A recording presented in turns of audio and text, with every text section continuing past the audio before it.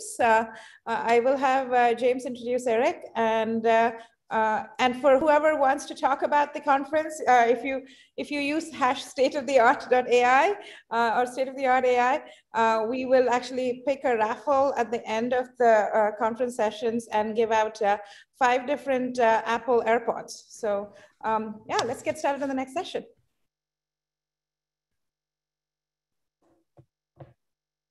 James, you want to take it away? Yep, absolutely. So just checking where are we moving over from the slides to our faces? I'll assume that will happen. Anyway, so yes, uh, as uh, Bindu said, uh, today I'm joined by Erik Brynjolfsson, who is an economics professor at Stanford and specifically um, a direct, uh, the director of the Stanford Digital Economy Lab.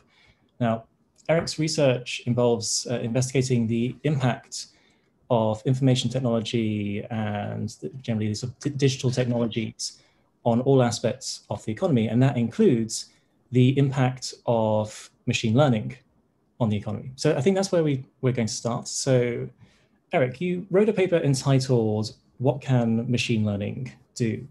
Now, I think uh, a good answer to that question is something that's probably of great interest uh, to this uh, to the attendees here. So be great, would you be able to give us an overview that research and then perhaps we can start deep diving into some of the specifics? Sure. Well, first off, uh, thanks so much for uh, welcoming me here. I'm really looking forward to uh, our conversation, James, and also looking forward to the questions and comments from the audience. I understand that uh, they'll have a chance to ask questions as well. Um, regarding what machine learning can do, uh, that's a paper that I wrote with uh, with Tom Mitchell, who used to run machine learning at Carnegie Mellon, and it addresses you know this big question about how machine learning is going to affect the economy. A big focus of my own research. Um, I think we all know that we're far from artificial general intelligence. Machine learning can't just do everything that humans can do, but it has reached um, human level or even superhuman level performance on many, many tasks, a lot more just in the past 10 years in things like, uh, you know, ImageNet and voice recognition and, and other areas um, that are affecting more and more potential occupations.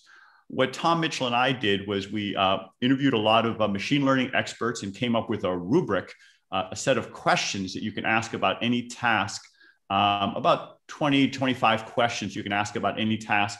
And then we uh, applied those to um, working with Daniel Rock, who was then a PhD student and now is a professor at Wharton.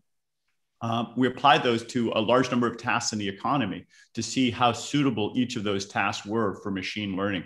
Um, it turns out that there's a, a, a, data set that lists or attempts to list all the tasks that people do in the economy. Uh, it's called ONET, and uh, the government has been tracking um, hundreds, about 950 occupations for, for 50 or 60 years. And for each occupation, it lists what tasks are required. They started doing this for uh, disability purposes and others. So, for instance, uh, radiologists do 27 different tasks, economists do tasks, primary school teachers, bus drivers. Everybody does a set of different tasks when they do their occupation. And for each of those tasks, there are about 19,000 of them, we scored them on based on this rubric by answering questions. And that gave us an image, uh, a snapshot of, of, what, what share of the economy could be done uh, by machine learning at its current state of the art. No, no additional advances improve, needed um, and it turned out to be about a trillion dollars worth of the tasks in the economy could be readily done with machine learning just right now um, off the shelf. Um, far less than that is currently being done by machine learning, which, which reflects the need to uh, roll them out and implement them and make business process changes, which, which in practice takes a long time. I'm happy to dive into any deep part of that you'd like to discuss more, um, and I could describe the research in more detail if you'd like. Absolutely. Um, so one of the things that stuck, stuck out to me there, um, yeah, pointing out, you know, so we're far from AGI, but we are superhuman in some areas. So I guess, right. um, um, are there, yeah, in, in that research, did you find there were some tasks for which superhuman levels of AI are now actually applicable? Um, uh, yeah, so- well, it's, it's an evolving frontier. As you know, for a long time, machines have been able to do a lot of routine information processing tasks. You know, obviously, they can calculate numbers a lot uh, you know, multiply big numbers much faster than I can. And one of the reasons we, you know, we do payroll and other things by machines is because of that. But now, if you look at the data on, say, ImageNet, 10 years ago, uh, image recognition was at about 70% accuracy on ImageNet of 14 million different images that my, my now colleague Fei Fei Li put together. Um, now it's, uh, it's you know, over 95, 98%, depending on the, uh, the metrics. Um, and, and, you know, interestingly, that's better than what humans do. I have to admit, when I look at some of the pictures in ImageNet, I don't always know whether it's a gazelle or an antelope or, or what breed of dog it is, or even sometimes whether it's an apple or uh, uh, uh, orange or a lemon. I mean, some of these differences are a little subtle. Um, and not that ImageNet, uh, not that machines always get them accurate, but but we have kind of crossed a threshold there. And as a uh, as an economist, when you look at, at you know a number of tasks in the economy and there's two ways of solving the task two inputs that can solve that particular um, problem. Um, entrepreneurs managers are going to choose the one that solves it more accurately and at lower price. And it's like when you cross the boiling point of water um, you, you it's a it's a phase change as you shift from one way of doing the task to another way. Um, it can take a long time uh, more than a few minutes, like it is with boiling water. But the economy makes that transition, and uh, you know, profit-seeking entrepreneurs are going to switch to the way of doing it better. So um, there's still, I want to be very clear, there's still lots of tasks that humans have a comparative advantage in. And when I look around, I don't think that we're going to see the end of work anytime soon. I think that on the contrary, there's there's so much work, whether it's in in childcare or healthcare or cleaning the environment or creative work, scientific discovery, entrepreneurship, even a lot of uh, fine manipulation. You know, uh, our hands are, are still more dexterous than, than most robotic hands. Um, in many of these tasks, humans continue to have a significant advantage, and I think in, in many of them they will for for for a decade or more. Mm-hmm. So actually, and pick, picking on uh, you said there more accurately, so I think that is uh, that's also one of the potential barriers to something um, uh, to machine learning being applied accurately to, to it. Um, machine learning is not perfect. Right. Uh, you're not going to get 100% accuracy with it. I mean, well, sometimes you will, but uh, you won't get ac- accuracy, you won't get provability often. Um, was that sort of one of the significant barriers to certain tasks that you saw? It, it, it is. And there are some tasks, you know, where there's a life or death situation where you really do need, if not 100% accuracy, very, very high levels of accuracy. And so one of the criteria was, you know, just what the stakes are. And uh, I think there's also a psychology that I think most people feel less comfortable with machines making mistakes than they do with humans making mistakes. You know, whether that's fair or not, that that's the reality. Um, I do think it's it, it is a little unfair sometimes when when I see you know on panels like this, people put up this um, this goal or this expectation of complete perfection. And they say that you know until a self-driving car has zero deaths or until a, a hiring algorithm makes zero uh, mistakes we shouldn't implement it. And I, I think that's not realistic. You have to look at basically what's the best alternative and can can the machine learning system do better?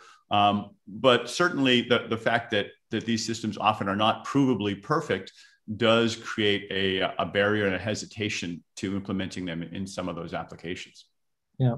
So interesting you pick uh, the examples of hiring and self-driving cars there. So I think in in hiring, that's possibly an area where some companies just with abandon have applied these new systems and then post hoc have discovered uh, potentially the the various different versions of bad decisions that they're making. Whereas I think in self-driving self-driving cars, there's there was a I think many companies are going down the route of like they are aiming for perfection. I was wondering if you had any particular insights, say in the self-driving car industry, about how that's going. It's like we, we have now had, you know, first death potentially caused. Well, well I have to say, you know, I, I, like to be optimistic about the technology, and some people have called me a techno optimist. I, like I like to think I, I, am realistic, though, that we can have very good outcomes if we apply to, to it. But I have to also admit, uh, and you know, and uh, and point out my own mistakes that I was over optimistic about self-driving cars. In in 2012, I rode down Route 101, just uh, out, you know, near near where I'm sitting here now um, from Mountain View up to San Francisco in a Google self-driving car. That's almost what nine years ago. Um, I was blown away, you know, they, they, sitting there, and and I wrote about it in my book with Andrew McAfee, the, the Second Machine Age. Um, I was, you know, had the impression my my host led me to believe, I think, that uh, soon we would be seeing these kinds of self-driving cars much more widely deployed. And while there has been significant progress, and, and now we can you know make left turns against traffic and other things that we couldn't at the time, um, overall it, has been something that's taken longer and been a little bit more difficult. than I think a lot of people anticipated, certainly than I anticipated. At the same time, there's other areas. I mentioned machine vision, language, uh, you know, what GPT-3 is doing, um, and a number of other more arcane areas in protein folding and elsewhere. Uh, Anime uh, mentioned this a little bit. Um, there, you know, the progress has been amazing. It's been staggering, and so that's been that's been good to see as well. Yeah. Um, I, I, can also comment a little bit on the, on the on the hiring bias. I mean, I think this is something that, that is worth talking about a bit. You know that that um, one of the things that has become much more prevalent um, over the past few years is the fact that as machine learning starts being used in really important things, not just hiring, you know, bank loans, medical decisions, who gets parole and, and who stays in prison.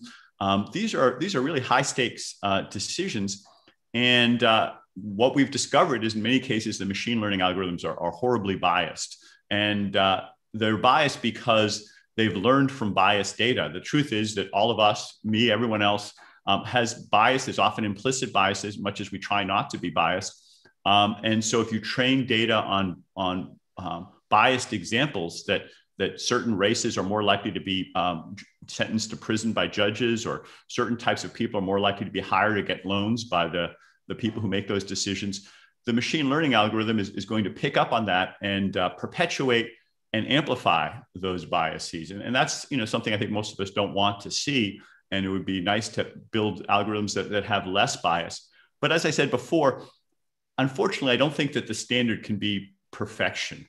Um, in fact, you can prove that it's it's mathematically impossible to have perfection because if you have you know some level of false positives and you try to eliminate those, then you're going to have more false negatives. If you try to eliminate the false negatives, you're going to have more false positives, and you can't um, balance them across all groups and all situations when the data are, are different.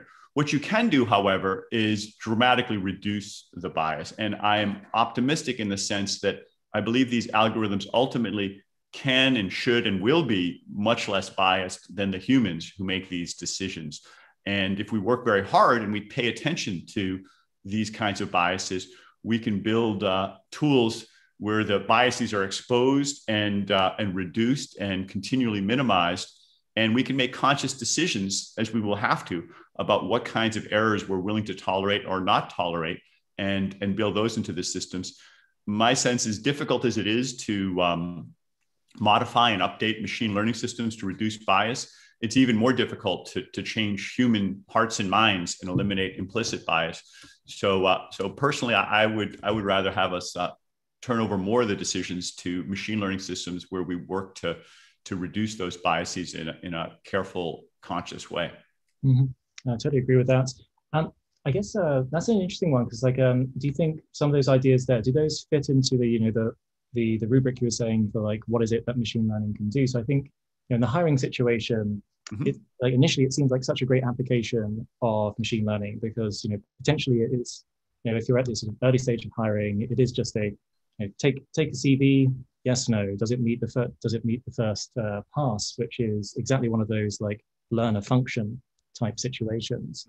I mean, I'm wondering here. So here, what you're pointing out is that if you just learn a function, it potentially doesn't do what you want it to do, as in it's repeating those old biases and potentially in a sort of uh, you know, unscrutable way, you can't look at, you can't understand what it's doing. Um, is that something that fits into the the framework for what can machine learning do? Would yeah. we now potentially rule that out as saying like actually current tech not quite there for that process?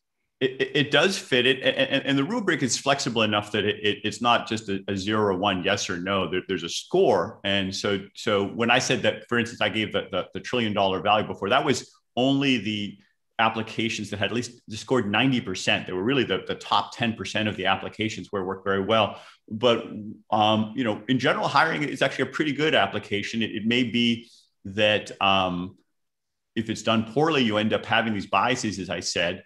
Um, one of my uh, former colleagues at MIT, Danielle Li, has a nice paper where she compares supervised learning systems to reinforcement learning systems for hiring.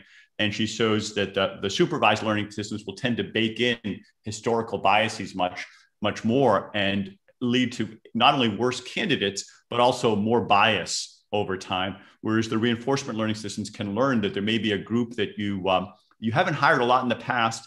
They'll do a kind of an explore exploit trade-off and and try out some of those people who you never hired before and uh, even though you have no little or no data on them, the, you know, the, the, algorithm will intentionally try to hire some of them. And then if they turn out to be successful, then you've you've made a discovery and you end up having better benefits for the company and also, as I said, less, less bias. So there are ways of, of doing them in ways that, that you can you can do better on, on both dimensions simultaneously, which is nice to see. I also think that you know while these algorithms are often fairly opaque compared to say a traditional algorithm um, they're still in many ways more transparent than, than human decision making. Mm. Even, even people themselves, when they introspect, don't realize why they're making decisions. There are famous results from behavioral economics that the judges, sad to say, um, are more likely to give harsh sentences when they're hungry before lunch than, than after they've had a nice meal. Or this is an even scarier one uh, judges in, in, one state, I won't say which one, uh, tend to give harsher sentences when their home team from their football, um, from their, from their, where they went, were alumni, uh, loses a game unexpectedly. Uh, the next day, they apparently a little grumpier than they are uh, otherwise. So those are some things that, uh, that obviously we don't want to see in our, our decision making. And, and I think can largely be eliminated um, from from machine learning, even if other biases uh, are still something we need to be wary of. Yeah, having visited some college football towns in the past, I can totally totally believe that. Yeah, no, I can't. I get I get kind of grumpy myself when my favorite team uh, loses, and I hope it doesn't show up in my grading. Uh, but you know, something to be careful of. Yeah, no, I totally agree with those points there. Like, I think it's um, so some early research I saw on the subject of like I think you know it was at they'd chosen loan applications as their area of research. And you know, this was back back when they're pointing, you know, the research then at the time was pointing out you can't just, you know, you've got some covariates in your data that are things you don't want to make decisions on. And the research yeah. at the time had said you can't just remove them because the algorithm will find a way to find proxies for them. That's exactly right. I mean, a good example, um, you know, my, one of my colleagues uh, did a did a experiment on humans where they sent out resumes with um, um, black sounding name, African American sounding names like, like Latanya, and white sounding names like you know Brian. And um, the they found that the identical resumes got fewer callbacks with the black sounding name than the white sounding name. And it wasn't anything on the resume explicitly says, you know, I, what race they were, but people make these inferences. And, uh, and, and of course, algorithms can, uh, you know, machine learning can, can, can at times do the same thing uh, inadvertently. Yep. No, I think there's a, definitely an opportunity here for making some of those trade offs, some of those choices, some of those biases just much more explicit, just pointing out, look, they're here. In some situations, you have a trade off, which is, like you're saying there before, how much to explore versus how much to like exploit your current knowledge and exactly seeing those uh, seeing those biases, which is very important. So yeah, um, I'd like to go a little bit further into so um, yeah, we talked about maybe like different areas where it's very easy to apply machine learning, like you can do something right now, get, you know, get a boost to your business. Other areas where there are a lot of different steps involved. Like, can you talk about maybe the spectrum of yeah. Yeah. Well, well, let me give you a, a couple of examples. I mean, so, so at, at, several different levels. First off, you know, there are just some tasks that are more suitable for machine learning than others. So everyone, you know, one of the favorite examples I hear hundreds of times, you've all heard, is radiologists and uh, image recognition. And then I just mentioned how well, how much better image recognition has become. Well, we look specifically at, at radiologists. We looked at um, actually 900 different occupations, but radiologist was one of them. There, according to ONET, this data set we're working with, there are uh, 27 distinct tasks that a radiologist does. One of them, a particularly important one, is reading medical images, but they also consult with other physicians on uh, treatment plans. Sometimes they do physical exams and so forth. Um, reading medical images is one that machines have gotten very, very good at. But I, I really wouldn't want it doing a, a physical exam or, or, trying to have a, a conversation and consulting conversation with, with other radiologists, at least not currently. Um, and when you look at the, the set of tasks that radiologists do, um, you find that many of them are just not suitable for machine learning. Um, in fact, this was what we found in every single occupation that there were some tasks that were suitable for machine learning, but others, often, you know, 10 or 15 of the tasks where machine learning wasn't any use whatsoever. So, my takeaway from that is that we're not likely to see the wholesale replacement of many, if any, occupations by machine learning. Um, but what we will see is um, major restructuring and reorganization where you delegate parts of the job to machines, other parts humans. And it's going to take intelligent entrepreneurs and, and managers to, to reinvent work and reorganize it so that you take advantage of what machines can do well while still having humans do the other parts. It's much easier to build a system where humans are doing what they're good at, and machines are doing what they're good at, rather than trying to build a, a soup to nuts system that, that's fully automated. Now, there are a few tasks where it's worked out that machines can do most of it. I, I recently did a study of, of, machine translation at, at eBay. And there, there was almost a, a, plug and play. It was relatively straightforward, where the, the machine translation system could uh, could just pop in, and uh, the net result was that you almost immediately, in about three weeks, you saw an 11% increase in sales between the pairs of country. As an economist, I was, I was happy that they rolled it out in a phased mechanism for different language pairs, you know, French and English, Spanish and English, uh, Portuguese. And each time they flicked it on, we could see the difference between those language, those countries versus other countries. So it made a, a nice natural experiment. And so we got a pretty clean measure. But that is the exception, not the rule. Um, most of the time, you need to do much more careful thoughtful reorganization of work and invest a lot in uh, what we call digital capital or, or organizational capital to reinvent business processes. And that's that that can take uh, months, years, in some places even decades. Yeah. So yeah, let's maybe talk about that. So as you point out, like there are a few areas where can be plug and play, but perhaps maybe even the majority of areas like it it's not. It's it's right. going to be investment. So you've done some uh, you've obviously uh, you've conducted some research into that area, um, looking into the investment required, potentially explaining why, um, you know, from in all sorts of different areas. I've heard people talk about, you know, productivity stagnation. You know, where's where's mm-hmm. where's productivity growth gone? With all the, you know, if machine learning can do so many things, where is it? Yeah. Um, well, these these this the, the productivity I was surprised to see it has actually been pretty disappointing the past decade. And it's related to what we are just talking about this need for restructuring. You know, let me just give you the data, the facts.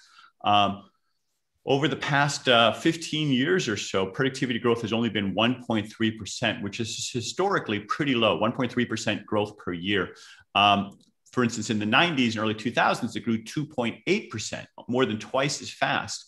And to me, you know, I'm a, I'm, I'm sitting around surrounded by these uh, technology wizards who are doing just breathtaking things. And I thought, well, why, how can it be that we aren't getting more productivity? And, uh, and so I've been looking closely at this, you know, what we call it the AI productivity paradox with, with Daniel Rock and, and with uh, Chad Syverson. And um, we have identified, you know, not just the facts of this slower productivity, but also some hypotheses about what's going on. Um, let me lay out the two main stories for what's going on. The first one, which I hear a lot from my Silicon Valley friends, is that we're just not measuring the economy well. Um, we are creating all sorts of wealth that is not showing up in the GDP statistics. Um, our official GDP is um, based on all the things that are bought and sold in the economy. And so if something has zero price, like say Wikipedia or like most of the apps on my, my phone, um, yeah, they're, they're basically invisible. They have zero price and they have zero weight in GDP. In fact, I, I, looked at the data for what's called the information sector in the GDP national accounts, which includes you know software, internet. It also includes movies, books, TV. Um, and that was uh, between four and five percent of GDP in the early 1980s. And since then, of course, we've had an explosion of just. I mean, we spend so much of my time. I spend a lot of my time online, like we are right now. Um, but uh, the current statistics are that it's still just under 5% of GDP. So it's almost as if nothing happened. It's it's it's invisible. And again, this this goes to this problem of uh, of zero price not counting in GDP. Now, I was saying talking about productivity earlier. It's important to understand that the definition of productivity is just GDP divided by hours worked. So if you mismeasure the numerator, GDP, you're going to mismeasure productivity by the same amount. And so we are we are just missing the boat on a lot of the, the benefits of the digital revolution and of, of AI by extension. Um, so that's part of the story. I do believe that's part of the story. I don't think it's all of the story. I, I was a little bit more of a, emphasizing this, but then my uh, my colleagues, it's a good thing to have uh, to give these presentations. Is they they push back on me a little bit, and uh, people like Bob Gordon and, and my my co-author Chad Syverson, my now co-author, pointed out that yes, we are missing a ton of value today. But guess what? We also missed a lot of value in the you know the 50s and the 20s and, and before that. Um, penicillin, you know, pretty impressive stuff. Television, uh, radio. There, there were some great inventions in the past that also were not fully captured. So now, now our job's a little harder. Are we mismeasuring more now or mismeasuring more then? And that's a um, that's a that's a harder question. I, I, do think we're mismeasuring more now. The digital economy has grown as a share of it, but mm-hmm. it's not a slam dunk case. No, and that leads me to the second big explanation of what's going on, which is goes back to what we were saying earlier about the need for business process change. Um, we looked historically at the introduction of really big, important technologies like the steam engine, electricity, you know, early computers for that matter. And in each case, it was remarkable that the productivity as measured did not increase significantly when it was first introduced, but only after 20 or 30 years. Like in the case of electricity, Paul David documented the introduction of electric motors into American factories in the 1890s, 1880s, 1890s. Um, and uh, the records show almost no productivity gain, which I was like, wow, that's a, the early productivity paradox. It, it took till the 1920s, 30 or 40 years later, to start seeing this soaring productivity. The difference was that when they first introduced the motors, they just simply pulled out the steam engine and put an electric motor in the same place and didn't change any of the machinery or the gears, which hardly made a difference to their performance. Later, a new generation of managers realized that instead of having one big motor in the middle, the way you have to with a steam engine, electric motors can be made whatever size you want. You can have them a little motor for one piece of equipment, a medium sized motor, a big motor, and you could lay out the equipment based on the flow of materials. When they started doing that, these large, you know, horizontal multi acre factories where the uh, materials went based on, on like a production line, then you got not just an increase in productivity, but you got like these staggering doubling and tripling of productivity. But it took, as I said, a generation. That and this same pattern, I won't go, go through all the details. You can read my paper. We saw it over and over in different cases. And I think that's a big part of what's happening today is that uh, you know the internet, AI, each of these technologies um, you really have to rethink businesses to get the full benefits. And that requires business process change, it requires new skills, it requires a lot of co invention. In fact, probably about nine tenths of the investment, according to our data, it is about nine tenths of the investment, is in this intangible organizational capital. And only one tenth is directly in the technology. And we're still making those investments in the, in the kind of invisible nine tenths of the investment. Mm-hmm. So I guess um, on that point, uh, are we are we expecting to wait a, a generation time, or uh, should hope like you know just the, the nature of things, you know, the disruption is that different? I'm, I'm hoping, and I'm I, maybe I'm a perennial optimist. I think it's going to happen a lot faster this time around. The last quarter, I don't want to go by one quarter of data, but the last quarter productivity was 5.4 percent. So you know what is that? Four or five times as fast as it was uh, previously. Um, you know, that's one quarter. I do think you know, paradoxically, the pandemic has compressed some things. There, it was a tragedy in many, many ways. I don't want to at all minimize that. Mm-hmm. Um, but one small silver lining is that it got a lot of us to work remotely and start using technology more. It made companies stop and rethink the way they organized work. And it does seem to be driving uh, significant productivity gains. Um, I suspect that we're in the early stages of a of a productivity boom. I have a paper coming out on Friday called The Coming Productivity Boom, where I make this prediction more specifically. And so I think the next five years we'll, we'll see that boost. Um, but it, it's it's the second part of the pattern that you also saw with uh, with electricity and everything. We call it the productivity J curve, where initially productivity goes down and then it then it takes off uh, in a J uh, shape. Um, and the past, you know, five or 10 years, we've been at the bottom part of that J curve. And now I think we're seeing the takeoff and it's being compressed a little bit um, because of the, the, you know, what happened in 2020.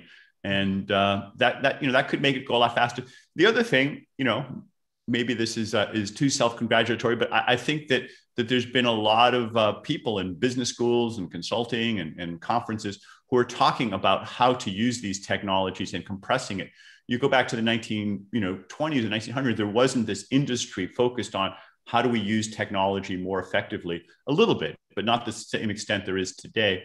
And um, there's now as much emphasis on figuring out how to apply and re-engineer and redesign companies as there is just in inventing the technology. And that also hopefully will compress and speed the diffusion of these uh, new ways of working.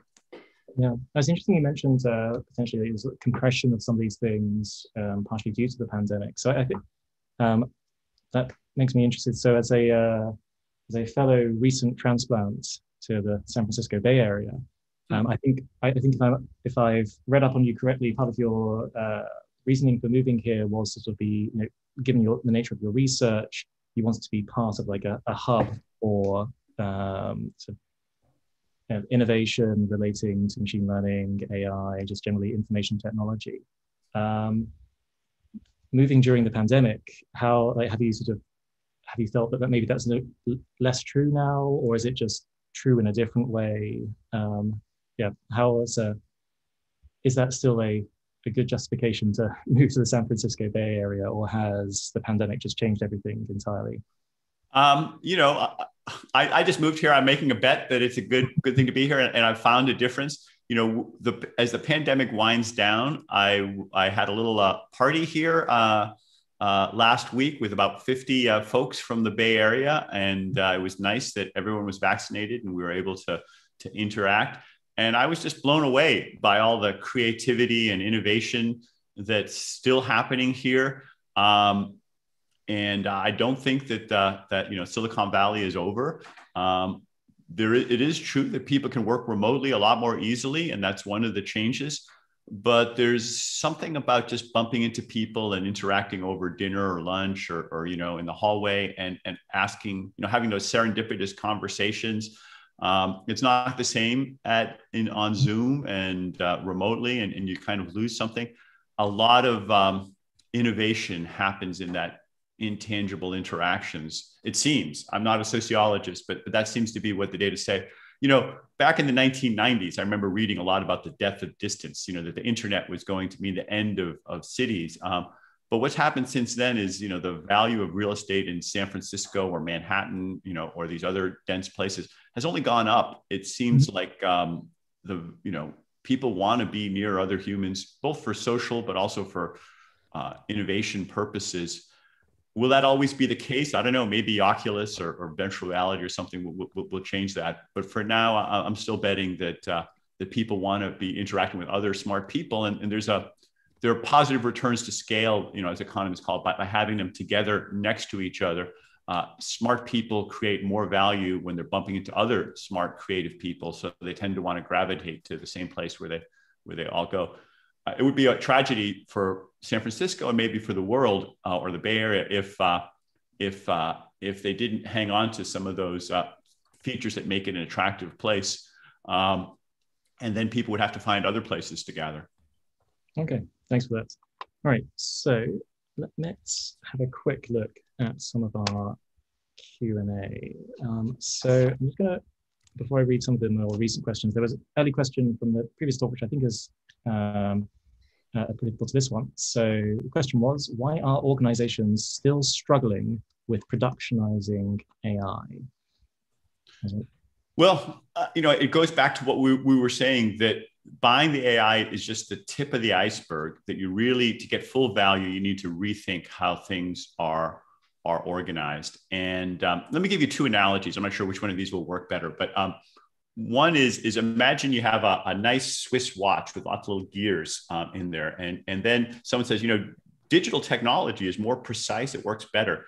So what if I opened up the back of the Swiss watch and I took a pair of tweezers and I went in and I carefully removed one of the gears and then I grabbed a little integrated circuit and I tried to like stick it in there and close it up again. Is that going to make the watch a little more digital, just a little bit more accurate? You know, of course not. You have to fundamentally rethink how the whole thing works to take advantage of these new technologies. It's very easy for us to see that when it's a physical set of interactions. You know, our brains are wired to understand, um, you know, the physical space. But the same thing is true for business processes. You know, what kinds of hiring systems you have, what kinds of skills the workforce does, how you interact with your customers and suppliers. Which let me try a second analogy, which which is a little closer to that. Is um, you know. Uh, Jeff Bezos, back in the 1990s, decided that uh, he thought that these new technologies could really revolutionize the bookstore industry. He was going to make the world's best bookstore. Imagine how lame it would have been if he'd gone into a bookstore and said, you know, this cashier could be replaced by a robot cashier. I'm going to use technology to replace the cashier with a robot. And they could have used very advanced technology for like picking the books off the shelf and scanning it. And uh, it would have been not a big change, really. It wouldn't have created a whole lot of value. And I think we can all see that, even if you spent a lot of effort on technology. The way that Amazon succeeded was by just starting over and say, wait a minute, we don't need a physical bookstore. We don't need cashiers. You know, the whole thing, we got to start over from scratch. Let's use the technology in an entirely different way that's the kind of thing that has to happen in most cases with, with AI is that we need to, to rethink the way we do uh, you know, medical diagnosis or retailing or finance or recommendations or manufacturing. And in each case, uh, that takes a lot of creativity. It takes smart entrepreneurial people to step back and not ask, how can we do the same thing with automation, but rather, what new things can we do by augmenting humans? and I'm not just not seeing that as much as we as we, as we need to see. Mm-hmm. All right. Another question here: uh, How likely is better AI slash ML in quotes um, to slow wage compensation growth for knowledge workers? Um, that's a big question, and it's one I've spent a lot of time researching. Um, it's it's you know a multi-trillion dollar question. Uh, just to give you some of the data, uh, uh, some of you may be familiar, but I guess it's talked about that the inequality has grown quite a bit in the United States and in, in most advanced countries. Uh, the top 1% has gotten dramatically wealthier. Well, the overall economy is creating more wealth than it ever did before. But the bottom 50%, you know, has barely budged, depending on how you mention, how you measure it. There may be um, evidence that, that actually the bottom 50% is, worse off than it was uh, a couple of decades ago. So this this gap a lot, a lot of it has to do with uh, technology with what economists call skill bias technical change technology disproportionately helping knowledge workers and not helping uh, uh, less skilled workers nearly as much but i want to say that it doesn't have to be that way through much of history it was the other way around um, if you look at the previous 200 years it was a rising tide that lifted all boats or even compressed wages and, and less skilled workers actually um, got a bigger and bigger share of the pie um, and likewise, going forward, you can use technology in different ways. I mentioned automate versus augment a little minute a minute ago. And, and if you use technology primarily to automate tasks, it tends to uh, replace blue collar and less skilled workers and drive down, put into competition with machines and drive down their wages. Whereas if you augment what they're doing, make them more valuable, then their wages tend to go up. Um, we just did a study with a company called uh, Cresta.ai uh, here in the Bay Area. And uh, we found a lot of evidence that technology can and is being used to, to boost wages of less skilled workers. They, they have a, a, a, a tool that helps uh, call center folks and people in chat, you know, doing customer service chats. Uh, it advises them and, and, and coaches them about when to mention a new product or when to introduce pricing or, or just the tone of their voice. And what we found was that actually the less skilled workers benefited a lot more than the more skilled workers. And it actually led to a kind of a compression of wages. That's a good example of a technology that augments humans rather than replaces them and one that compresses wages. A big question for all of us going forward is, you know, what our values are and what kind of society we want going forward. If, uh, if we want to have uh, a more equal, more broadly shared prosperity, then we should be thinking more about inventing technologies that augment uh, labor and work as opposed to uh, simply replacing it. Yeah, so essentially related to that last point, and also probably a big question, but maybe one, I think one that you've definitely thought about. So the question is, uh, how about using AI to solve real world problems and not only focusing on the economy, uh, but also focusing on human well-being and sustainable use of our shared earth resources? Yeah. Mm-hmm. Well, this is one of the reasons why we need better measures of the economy. You know, one of the problems with GDP is that it doesn't measure some of those things, our health and well-being as well as it should. It doesn't measure the environment as well as it should. And I've been developing some new metrics, one called GDP-B that measures these kinds of benefits explicitly. And if we use that as our dashboard, I think we would focus more, our policymakers would be more incentivized to focus on that. Perhaps our managers and CEOs would as well. Technology can and, and already is being used in some ways to help those kinds of problems. Let me give you two examples. I'm on the, the steering committee of the board of the uh, something called the AI Index, and every year we put out a report about what's happening in AI. I encourage you to go to aiindex.org and read our latest report, which just came out a, a month or so ago, uh, a couple months ago now.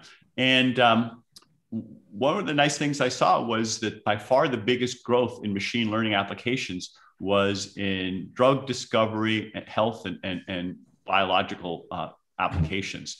Um, so there's about a four and a half times increase in investment in that area between 2019 and 2020, uh, bigger than any other area. It, it, was the number one area of investment.